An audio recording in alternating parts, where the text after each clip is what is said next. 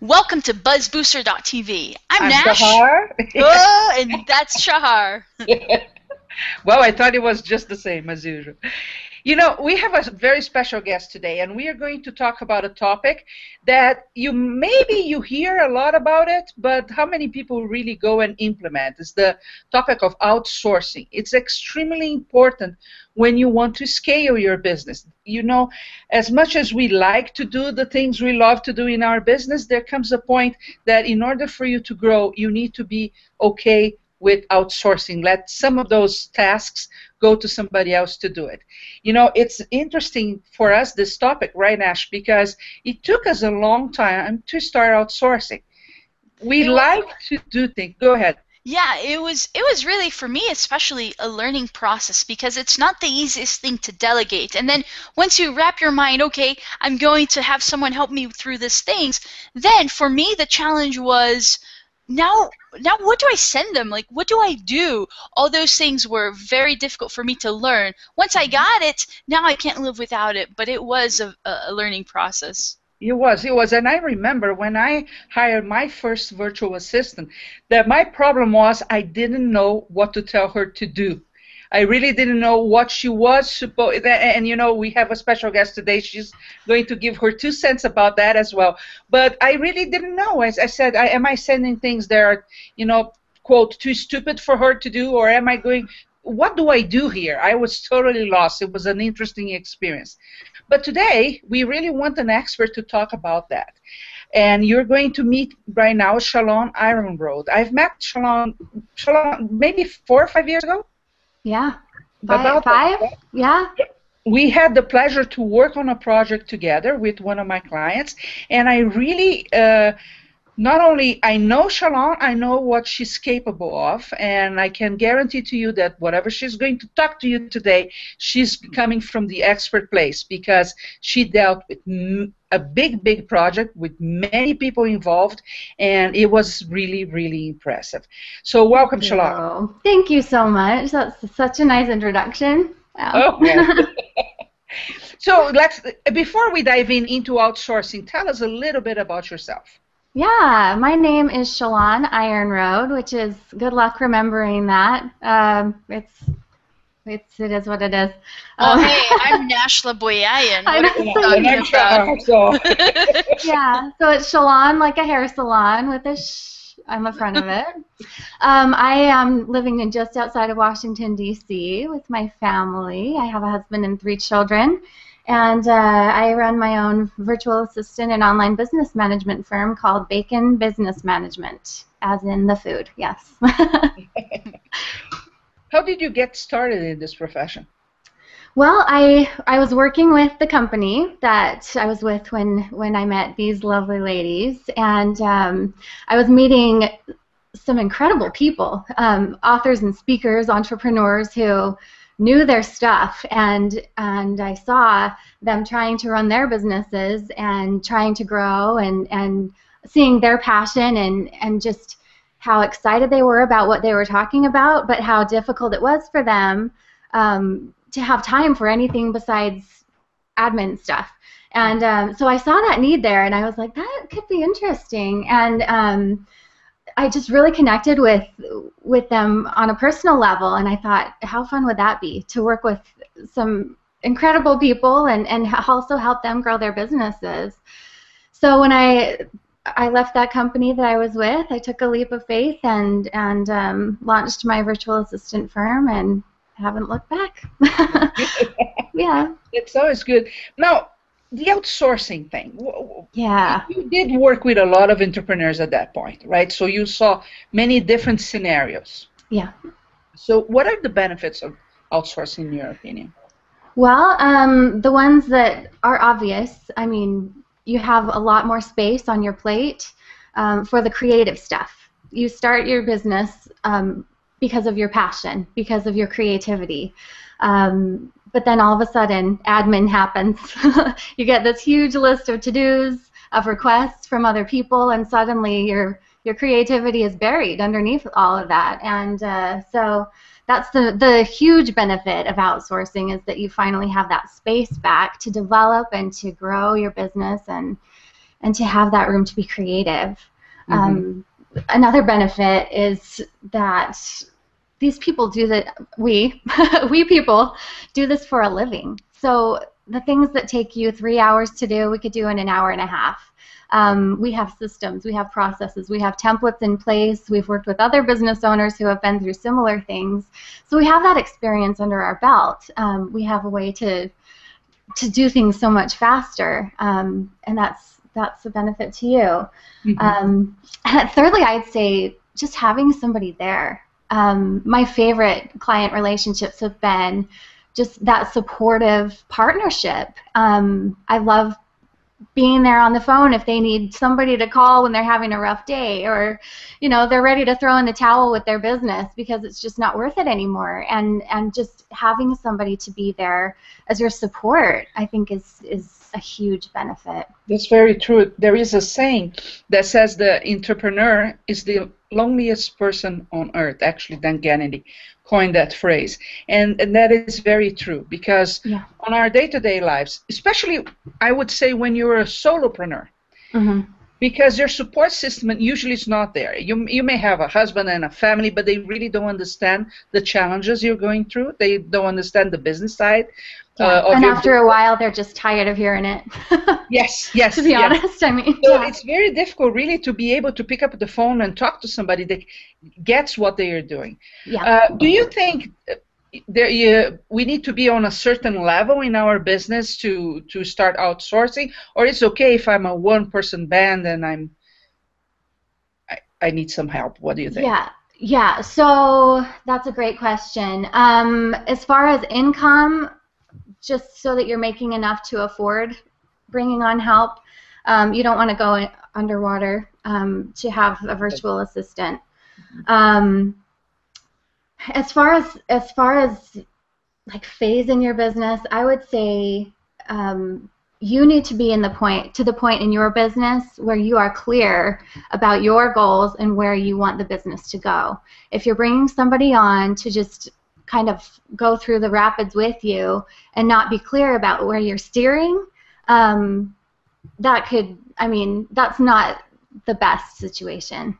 It's mm-hmm. it's nice to have help, definitely, and if if you have somebody to help you get out of a mess, um, that's definitely a benefit. But have that goal in mind, or make that your assignment as you bring that person on to be crystal clear about where you're headed. Yeah, that's a very good point, Shalon, because we know that sometimes entrepreneurs they get lost in their own uh, little world, and many times they're really not clear where they're going, what they're doing with their business, and it's very, very important, like you said, to have that clear before you start outsourcing, because or else it's going just to be an overload of tasks that will not take you anywhere, either of you anywhere. Yeah. But since you, you you talked about being able to afford, an entrepreneur can they let let's suppose I'm a solopreneur just starting mm-hmm. out. I mm-hmm. I understand that I have to have some budget, but can I work with outsource? Do I have to hire a virtual assistant full time? Can I do it in uh, part time? How how can I work that? Yeah, um, you do not have to have somebody full time. That is the beauty of virtual assistants. Um, they are independent contractors, so you're not hiring an employee. Um, you can purchase blocks of hours, one hour, two hours, um, or have them on full time if you if you need it. But yeah, don't feel like you have to have enough work to hire somebody full full time because this is their business. They hire they work with people, multiple people. So mm-hmm. you're not their your their sole source of income. Yeah. So that pressure's off. Yeah. Yeah. Yeah, and, and there, there are many benefits tied to that as as well. You know, yesterday we were in a meeting and a guy approached me and he worked for some kind of payroll company. And he started his spiel and he went because you don't want to be dealing with the payroll and this and that. Why uh, why you should be doing your work and and I said well I don't have that problem. And he said oh you don't you don't have employees? And I said no I actually have a team of about 12 people but they are all outsourced Mm-hmm. right? So for me, it's a very simple process during the week that we take care of, and it's done. It's yeah. not a huge headache. That saves us a lot of problems. Go ahead. One thing, one thing that reminded me, Shahar, even, uh, and I don't know if this was a question that you had planned for Shalon or not, but talking to people, oftentimes they think that to outsource, they have to outsource to folks who are in the Philippines or in India or anywhere else but the United States. Yes. When in reality, uh, that's not necessarily the case. Just like Shalon, you work, wh- where are you? Is it Washington? Washington. Yeah, Washington D.C. Yeah, so you're Yeah. working from Washington, and we have several people on our team that are in the U.S., but in various locations other than where I'm at in Salt Lake City, and that's one of those uh, the beauty, the beauty as well. Yes, that's very true. And there are some key people in your team that you want them to be in the same country as you are, because Yes. it, it makes a big difference. Shalon, what kind of? You remember at the beginning I said that when I hired my first virtual assistant, I really didn't know what to do, right? What kind of Yeah. tasks I should be outsourcing. So tell us a little bit about that. Yeah, so I think that's the biggest hurdle for entrepreneurs as they're hiring people on, and that's a great, great excuse not to hire somebody on is I just don't know what to give them. Um, so I would like to give your your audience an exercise to do. Oh, great. Um, woo! um, grab a sheet of paper. It doesn't have to be fancy. It could be printer paper or lined. It doesn't matter. But I want you to list out everything that you do in a typical day. Um, if you want to keep track during a day as you're working, if you don't want to take time out to do this exercise, that's fine. Just take a piece of paper and have it right there with you. And then at the end of the day or beginning of the next day, I want you to go through that list and circle the things that you did or that you do in the typical day that you don't like to do, that don't bring you joy, that drain your energy, even if they only take a couple minutes. If they drain your energy, circle them. Those are the things a virtual assistant can do. so whatever whatever you don't like to do, um, there are so many virtual assistants out there. Some of them have specialties. Some of them, like mine, are a one-stop shop. Um, we do it all. I don't know. I call myself a human Swiss Army knife because I like. I I, just always I, love that. I take it on. Um, Yeah. But but I have so in my business I have three buckets that I put tasks into um, that I do for clients. One of them is office management, so like the back end administrative stuff. Um, let me give some examples: calendar management, travel planning, um, managing your speaking itineraries, uh, booking hotels, things like that. Um, the the day-to-day stuff that you do. Um, relationship management is the next bucket. So what I love to help, actually one of my favorite things to do with clients is if I know they're going to an event um, and they know a few people who are going to be there that they want to network with, I'll um, kind of be an online, I don't want to say stalker because that sounds really creepy, but I'll, I'll go online and see what, you know, some background information about them, see what they're into, And benchmarking for them. Yeah. and give my clients kind of an idea of small talk, you know, that they can make with them, and, and that results in huge results for their business. I bet it does. That that's Yeah. worth a lot of money, Shalon, because Yeah. that's true. Uh, if you had, as an entrepreneur, the time to research who you're going to meet in those events, you could Mhm. accomplish a lot more. Just for the fact that even during the trip in itself, you have the time to think about possible partnerships, po- uh, possible joint ventures that uh, would be a benefit for both. And, and but if you don't, if just meeting people out there, you get lost in the Yeah. in the Collect mojo. business cards. Yes, yes, that's true. You know, two things that I hate to do: What's that? phone calls and filling uh, speaking forms on Yeah. when we are invited to speak someplace. Uh, we don't do phone, uh, cold calls here, but we do a lot of follow-up calls. Mhm. I I don't like to be on the phone. Period. That's not something you know. The the piece of gadget, the gadget that I use the least is my phone. While everybody else is there all the time, I don't like phones. Yeah. And the other one is filling those forms on the sites because it takes a lot of time, even Mhm. if it's the same topic and if it's the same information. So, yeah, no, no Like- working. People always wonder if how much like Shahar and I get along. Uh, if we fight, we always get these questions like, "Do you guys fight?" And the answer is no, usually not. But usually a discussion starts because we have to decide who is going to call. No, you call. No, you call. Oh, blah, blah, blah. so that's like usually one of those things. And it's the same thing with like submissions of filling out forms and applications. Usually it's because of those things. because you, you know what I think is an important point here, Shalon, and I, I, I believe you agree with me. The most uh, the most valuable asset we have is time. Okay? Yeah. There is a number tied to to my minute and when I have to spend time doing something that is really, in this case, less than I would charge for in a, in a let's say, one-on-one consultation, I'm actually losing money. You are. So just this last month, I think we did, I don't know, five or six trips. If you're speaking, you have to submit forms for the speaking, and then mm-hmm. you have to submit forms for i mean you, you do hotel reservations plane when you when you look at all the things that you have to do online just concerning one trip and you mm-hmm. put those in minutes, that's a lot of time. Yeah. Right? If I spend the exact same amount of time, for example, recording our show, mm-hmm. right? I make a lot more money. Yeah. Yeah. So I don't see the point, right? It's it's and yeah, and that's one of the only reasons we end up fighting with each other because who is going to spend the time doing?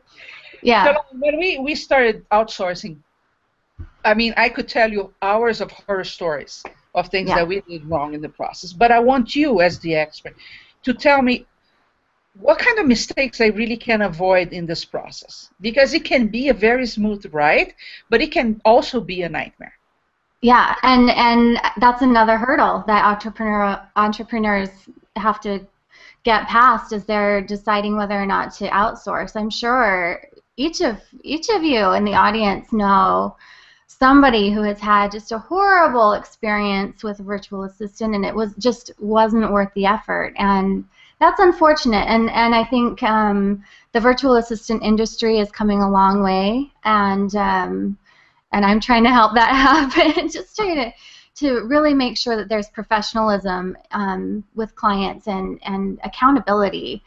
Um, but as far as the entrepreneur side um, yeah, so so the the hard part of virtual relationships um, is communication.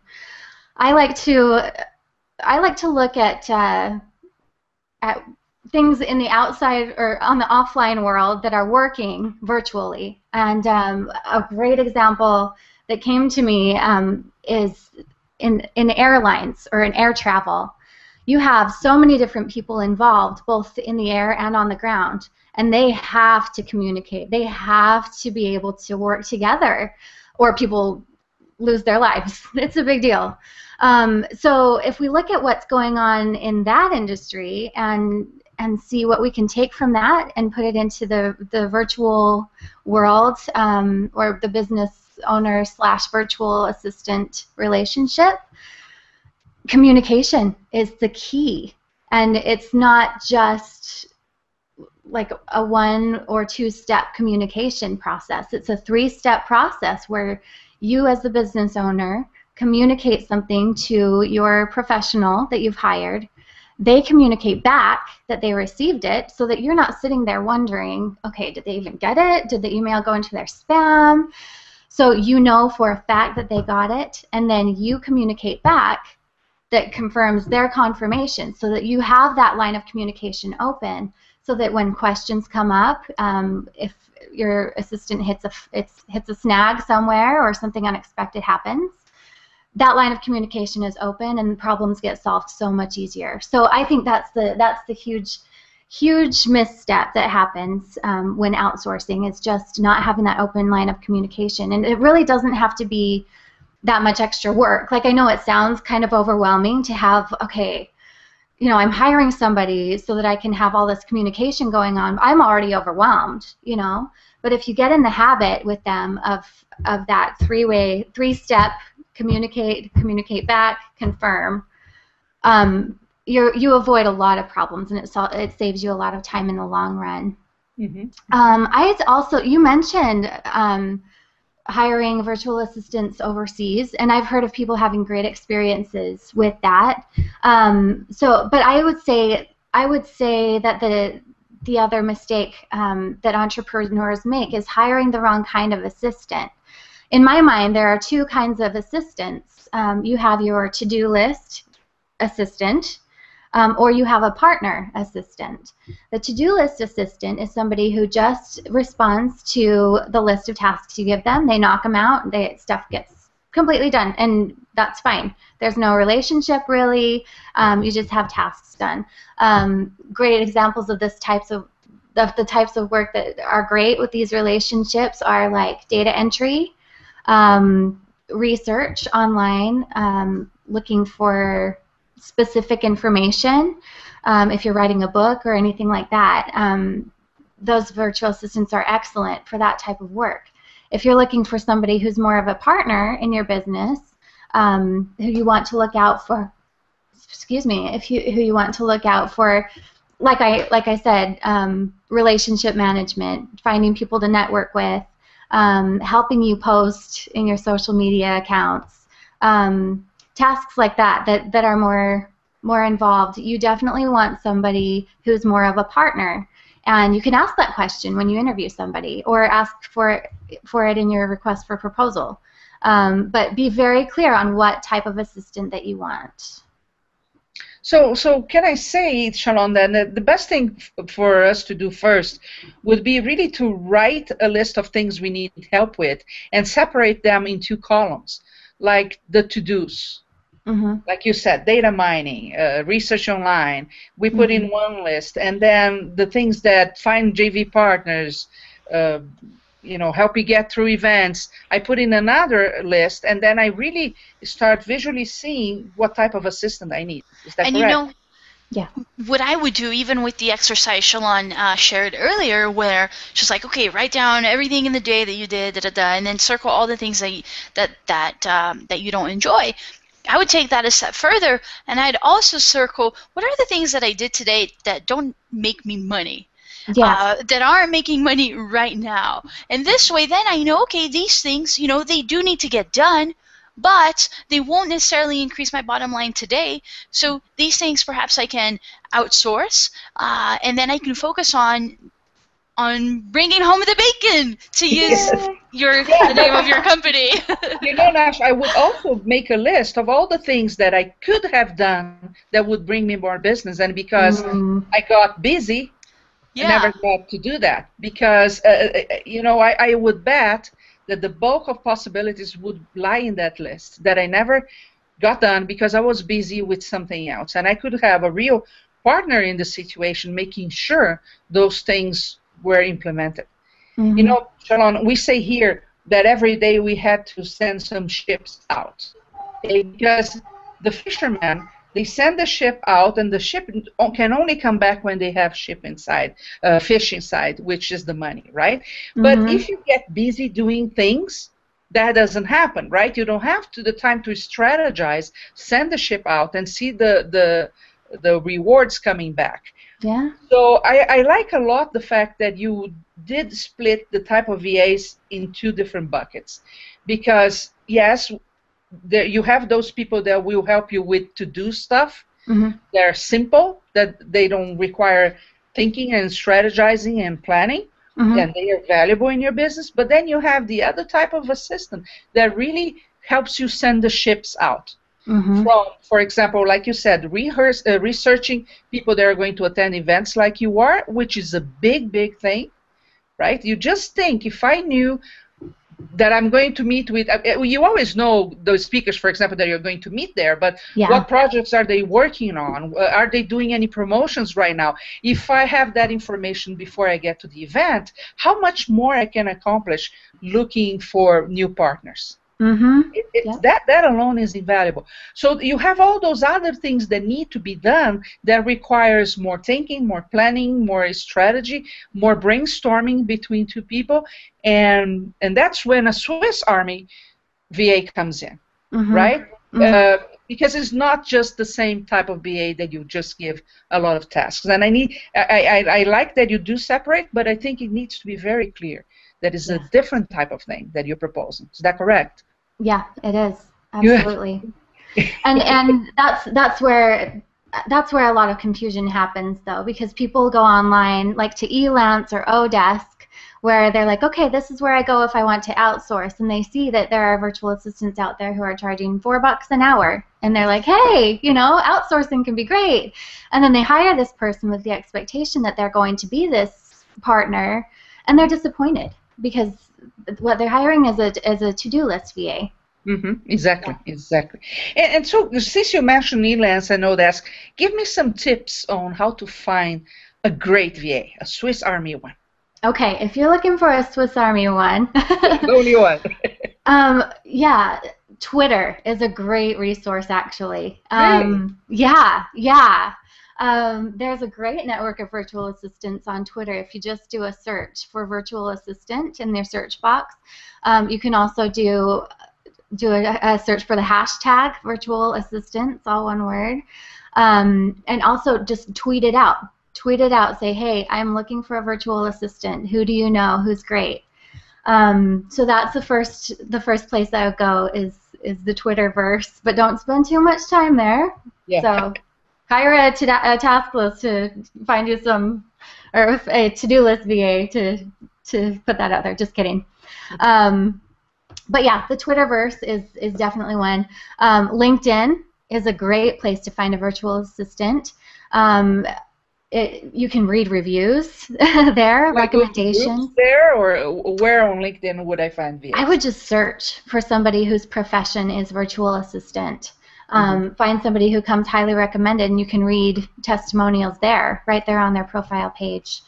Um, and uh, also word of mouth right now, the virtual assistant industry, word of mouth is the best way uh, for us as virtual assistants to get clients. And, and just like so many other th- other services and businesses, um, when you hear it from a friend, you know, you know that it's going to be good. Um, so yeah, those are my top three places That's to great. find a find a human Swiss Army knife. and, and Shalon, if people want to go and talk to you, what do they have to do? Yeah, so I have a website. It is Bacon BM, B, B as in boy, M as in mother. Um, baconbm.com is short for Bacon Business Management. So come to the website and you can use my contact form. My phone number is there, my email address. So reach out there. I love helping business owners, even if it's just to help you find a good virtual assistant. I'm connected to a lot of virtual assistants. You know, if, if I wouldn't be the best fit for you. I, will tell you and, and find somebody who would be better. So that's, I would love to get in touch. Yeah. yeah, thank, thank you very much, Shalon. Actually, uh, just as a side note, how many women were you helping manage at that point? Oh, goodness. Because I want, I want people to understand that you were dealing in several aspects of that business launch at that point, yeah. and you were you were really managing a lot of women. Do you remember more or less?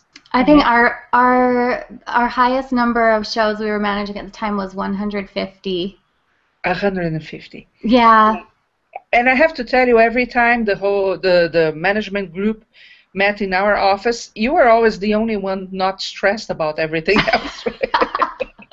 she was the only one not yelling or anything because she, you know, she could take care of that very, very well as she can now Thank in you. your own business, right? So get in touch with Shalon. She'll be she'll be happy to share her knowledge with you as well. Thank you very much, Shalon. Thank, Thank you. you. It's been yes, so fun. Yeah, thank you, everybody. And of course, if you think this information is valuable, don't forget to share, like, comment, you know, spread the love about this because a lot of people are starting to outsource. They really have a lot of questions. They could use this video quite a bit. So hit share and spread out the, the video through your social network. And other than that, see you next time. See you next time.